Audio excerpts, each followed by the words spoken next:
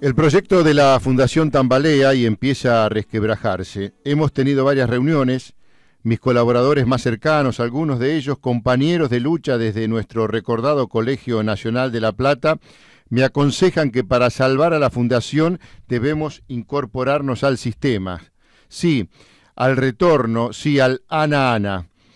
Pondremos gente a organizar todo, hay especialistas que saben cómo hacerlo, debemos dar un paso al costado aclaremos que vos no sabes nada, que no estás enterado, debes comprenderlo si querés salvar la fundación. ¿Quién va a creer que yo no estoy enterado? En este momento y a esta edad, terminar con los principios éticos que recibí de mis padres, mis maestros y profesores, me resulta extremadamente difícil. No puedo cambiar. Prefiero desaparecer. Joaquín B. González escribió la lección de optimismo que se nos entregaba al recibirnos. A mí no me ha derrotado nadie. Yo no puedo decir lo mismo. A mí me ha derrotado esta sociedad corrupta que todo lo controla. Estoy cansado de rendir homenajes, de recibir homenajes y elogios al nivel internacional. Hace pocos días fui incluido en el grupo selecto de las leyendas del milenio en cirugía cardiovascular. El año pasado debí participar en varios países desde Suecia a la India, escuchando siempre lo mismo. La leyenda, la leyenda. Quizá el pecado capital que he cometido aquí en mi país fue expresar siempre en voz alta mis sentimientos, mis críticas, insisto, en esta sociedad del privilegio, donde unos pocos gozan hasta el hartazgo, mientras la mayoría vive en la miseria y la desesperación. Todo esto no se perdona, por el contrario, se castiga. Me consuela el haber atendido a mis pacientes sin distinción de ninguna naturaleza, mis colaboradores saben de mi inclinación por los pobres, que viene de mis lejanos años en Jacinto Araos. Estoy cansado de luchar y luchar, galopando contra el viento, como decía Donata. No puedo cambiar. No ha sido una decisión fácil, pero sí meditada. No se hable de debilidad o valentía. El cirujano vive con la muerte, es su compañera inseparable. Con ella me voy de la mano. Solo espero que no se haga de esto un acto de comedia. Al periodismo le pido que tenga un poco de piedad. Estoy tranquilo. Alguna vez en un acto académico en Estados Unidos se me presentó como un hombre bueno que sigue siendo un médico rural. Perdónenme, pero creo es cierto. Espero me recuerden así. En estos días he mandado cartas desesperadas a entidades nacionales, provinciales, empresarios, sin recibir respuesta. En la Fundación ha comenzado a actuar un comité de crisis con asesoramiento externo. Ayer empezaron a producirse las primeras cesantías. Algunos, pocos, han sido colaboradores fieles y dedicados. El lunes no podría dar la cara.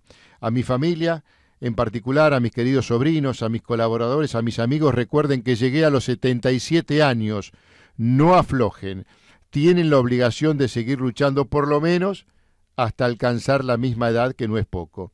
Una vez más, reitero la obligación de cremarme inmediatamente sin perder tiempo y tirar mis cenizas en los montes cercanos a Jacinto Arauz, allá en La Pampa. Queda terminantemente prohibido realizar ceremonias religiosas o civiles. Un abrazo a todos, René Favaloro.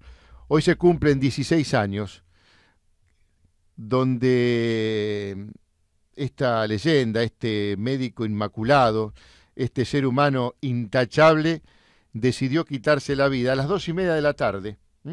Hace poco más de media hora, hace 16 años había tomado esta decisión, el 29 de julio eh, del año 2000. Pasaron 16 años. Esta despedida que redactó una desesperada carta al entonces presidente Fernando de la Rúa, en la que exclama estar cansado de luchar, en la que reclama cooperación económica para solventar la fundación que lleva su nombre, en donde el reconocido cardiólogo y educador desplegó una serie de críticas al sistema de salud argentino. Bueno, el responsable de la primera operación del bypass del mundo se suicidó hace 16 años reclamando derechos, acciones, reacciones, despertares Su decisión final fue una medida meditada. Su legado es inspirador, su reclamo mantiene validez, actualidad. En sus últimas líneas, como decíamos, le solicitaba a sus queridos sobrinos, a sus colaboradores, a sus amigos, que no aflojen, que tienen la obligación de seguir luchando hasta los 77 años de edad. Hoy, hace 16 años, poco más de media hora,